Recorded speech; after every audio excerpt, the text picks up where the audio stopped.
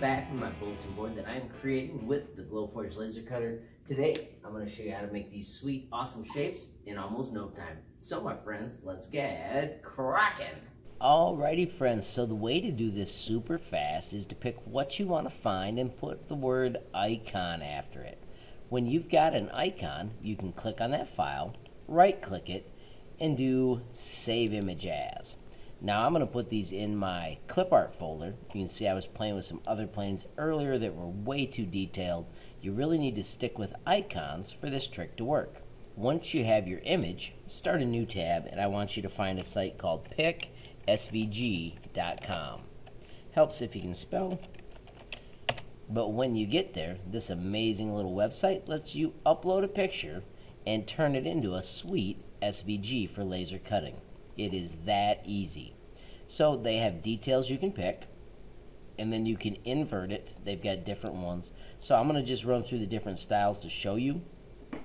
This has thicker lines, it looks like. This one, the lines get a little thinner. Let's check invert 3. That's a little more thick. Let's check invert 4. Ooh, this would be the complete opposite. That would be interesting for shading it. I'll show that in a different video. I'm going to check the the ready version 1, ready version 2, ready version 3, and the one that I'm going to go back to is invert number 2. So what this is going to do is it's going to cut out the shape of that jet for me so that I can put it on my bulletin board. I'm going to hit download SVG.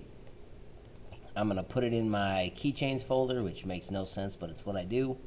I am going to change the name to Jet and hit save and let's head to the Glowforge and make ourselves a cool shape. Alright friends, so here I am in the Glowforge software. Let's add our artwork. Remember, we're going to do upload. We're not looking for the clip art one. Remember, I put it in my keychains folder and it was called jet.svg. I will actually show you in a minute how that works differently. So when I bring in this artwork, I can then drop it in. Because it's an SVG, you can scale it and keep all your settings. And also because it's an SVG, you can enter the settings to cut it. So I'm going to use my special tag board setting. Boom, that's where my jet's going to be. It's going to have double lines, which is going to be a little bit silly. And that may be something I need to adjust. We'll take a look afterwards, though. Maybe it'll look cool when I cut the two pieces out and set it in. So I'm going to have to analyze that afterwards. Real quickly, let me show you what happens if we do that original file. If we go back to the clip art,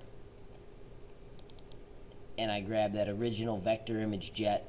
It does come in with a sweet shape, but the only option with this one is to engrave it. Uh, there is no cut because it's a bitmap, and you can tell that when it's on top of it. So I'm going to click on that one and delete it. I've got my settings set. I'm going to select my material. I am using my custom 1 millimeter tag board, which is cool because I get my piece that I can use for the bulletin board and I don't have to worry about painting it or making it fancy. Let's hit print and see how sweet this little critter cuts out. Alright friends, so everybody's favorite part, tapping that magic button. And then let's watch the little critter cut.